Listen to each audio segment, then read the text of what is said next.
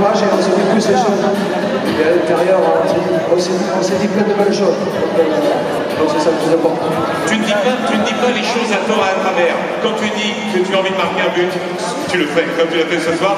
Quand tu dis que tu veux gagner la Champions League, tu l'as fait. Et quand tu voulais gagner la Coupe du Monde, ça aussi tu l'as fait. C'est vrai que c'est impressionnant, cette, cette carrière que tu as. C'est la façon dont tu mets tout ça. Parce que j'aime la compétition. Je suis un compétiteur. Dès qu'il y a quelque chose qui se met dans moi, j'essaie de, de le rapporter. Les copains qui sont, qui sont autour de